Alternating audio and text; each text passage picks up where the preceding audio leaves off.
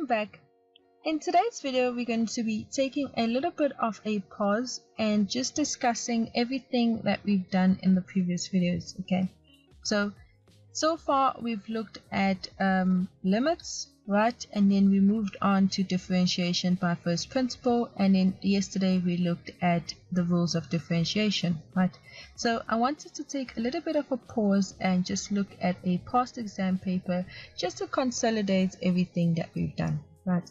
So in today's video, we're going to be looking at question 7 from November 2019, right? And the first question says that we need to determine f prime of x, right? From first principles, if it is given that f of x is equal to 4 minus 7x, okay? Now, the instruction from first principle is basically telling us to use our definition of a derivative function, right? So namely, the fact that f prime of x is equal to the limit as h tends to 0 of f of x plus h minus f of x divided by h, okay?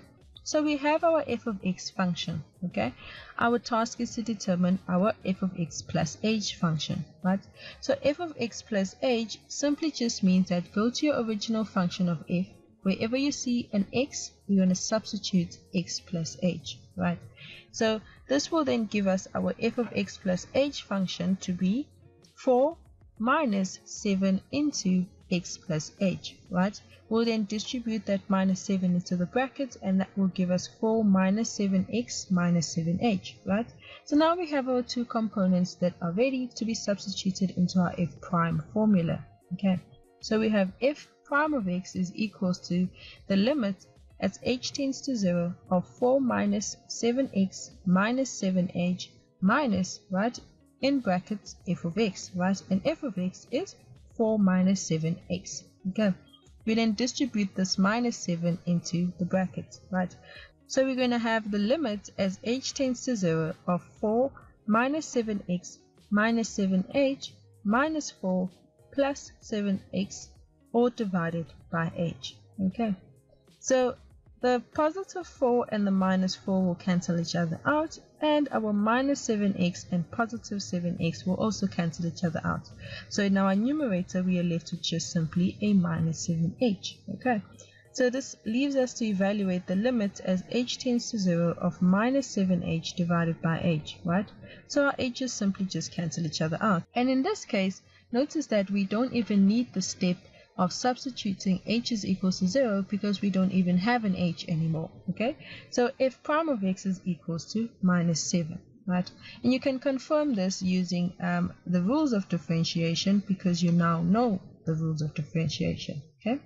So if you confirm this, if you go to your function f of x, right, you'll see that your first term is a constant term of 4, right? And the derivative of that is 0, right? The second term is mine is 7x, right? Okay, so the derivative of that is simply going to be, well, 7 times 1 times x to the exponent 1 minus 1, which is x to the exponent 0, and anything to the exponent 0 is 1, right? So we're going to have that f prime of x is equal to 0 minus 7 times 1, which is just minus 7, okay?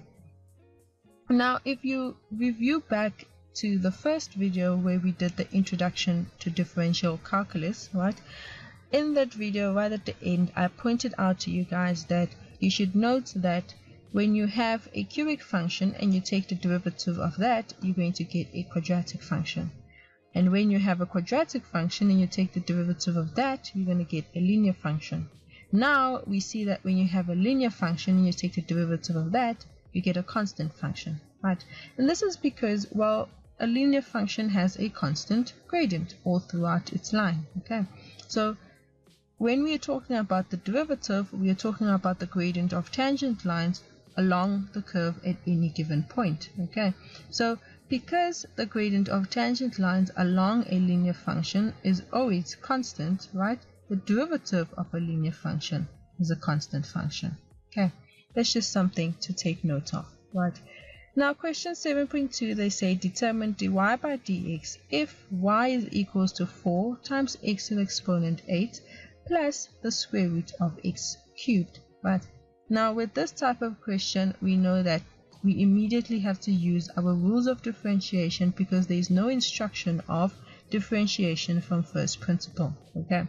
When we want to use our rules of differentiation, we need to make sure that all our terms are in the form a times n times x to the exponent n so that we can apply the power rule. Okay. Right. Um, in this case, we see that our second term is a radical, right? So we're going to have to transform that by rewriting it as x to the exponent 3 over 2, right? So we'll have y is equals to 4 times x to the exponent 8 plus x to the exponent 3 over 2, okay? So then taking the derivative function, we'll have dy by dx, right, is equals to 4 times 8 times x to the exponent 8 minus 1 plus 3 over 2 times 1 times x to the exponent 3 over 2 minus 1. Okay, this will then give us 4 times 8 is 32 times x to the exponent 7 plus 3 over 2 times x to the exponent 1 half. Okay, we can then just clean this up and rewrite it as 32 times x to the exponent 7 plus 3 times the square root of x divided by 2. Okay. Right, now let's move on to question 7.3. Right, question 7.3, they say that you are given that y is equals to a times x squared plus b. Right, 7.3.1, we need to determine dy by dx. Okay, so this is just simply applying the power rule. We are looking for the derivative of the function y with respect to the variable x. Okay, very simple, like usual, we're going to have a times 2 times x to the exponent 2 minus 1 plus, well, the derivative of a, a is a constant, so that's just 0. So that's just plus 0. Okay. So dy by dx is equals to 2 times a times x to the exponent 1, right? Or just simply 2ax. Okay. Now, question 7.3.2 Uh, is asking us to find dy by dA. Okay. Now note the difference between 7.3.1 and 7.3.2. In 7.3.1, we were finding the derivative of the function y with respect to the variable x. Now we want to find the derivative of the function y with respect to the variable a. Okay. This can throw you off a little bit, but it doesn't necessarily have to, right? So one way that we can overcome making a mistake is we can go to our original function y is equals to a times x squared plus a and put a box around x squared, right? And let's call x squared k, right? So k just represents some variable, okay? Um, you could have called k3 in the back of your mind as well if that helps, okay? So now you concentrate on your variable, which is told to you it has to be a, right? So the exponents on both your variable a, right, is 1, right? So you then go on and you apply the power okay? So we're going to have dy by dA is equals to 1 times k times a to the exponent 1 minus 1 plus 1 times 1 times a to the exponent 1 minus 1, right? Now let's reverse the substitution of k is equals to x squared, right?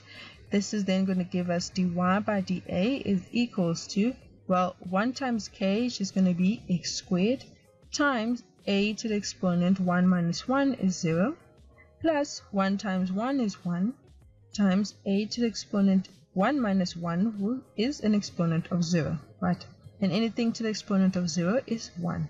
Okay, so this is just simply dy by dA is equals to x squared plus 1. Right, so there you go. That is the derivative of the function y with respect to the variable a. Okay.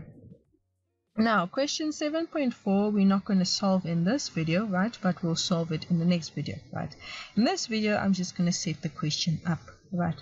So the question says, um, the curve with the equation y is equals to x plus 12 over x passes through the point A with x coordinate 2, y coordinate b. Determine the equation of the line perpendicular to the tangent to the curve at A. Right. So we are just going to set this question up quickly. Um, let's do this by getting ourselves a sketch. Right. So we don't need to necessarily know what this function actually looks like. We can just work with a generic sketch. Right.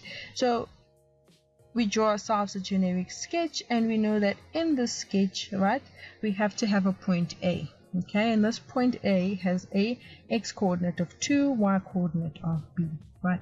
At that point A, we have a point of contact between the curve and the tangent line. Okay, so let's draw ourselves a tangent line at A. Okay. We know that our curve is defined by the equation y is equals to x plus 12 divided by x. Okay. Now, it would be necessary for us to find firstly the gradient of our tangent line at x is equals to 2, right? Which means that we need to find dy by dx, right? Because remember that the gradient of our tangent line, right, is equals to the derivative, right, of our function at that point, right? So dy by dx, right, is the derivative function, and we're going to evaluate that at x is equals to 2, right, which is going to give us the gradient of our tangent line at x is equals to 2. Okay. Then once we have that, we know that what we are looking for is the equation of a line which is perpendicular to this tangent line, right? So a line which is perpendicular to the tangent line will cross, right, or intersect, right, both the curve and the tangent line at our point A. Okay, so it's going to look something like this, right? And we know that the product of the gradient, sorry, of two perpendicular lines is negative 1, right? We now know that we've determined the gradient of our tangent line. So the gradient of the tangent line times the gradient of this line that we are looking for must equal minus 1, right? Which means that we'll be able to calculate the gradient of our line, right? Then once we have that, it's going to be necessary for us to find the value of b, right? Well, the value of b is just the corresponding y value at x is equal to 2. And we know the equation of our curve, so that's just simply substituting 2 into our given equation y is equals to x plus 12 divided by x. Okay, so then a is then going to be a point that is going to define define sorry an x1 and a y1 for us right? Then we can use the form famous um, straight line equation right which states that y minus y1 is equals to m times x minus x1 right? Then when we look at this equation we see that we have a y1 we have the gradient of our line and we have an x1 right? So then we'll be able to find the equation of our line right so that's just me just setting up the question. Um, we'll deal with this question in the next video. You can even try the question yourself in the meanwhile and then we'll compare our answers in the next video. See you next time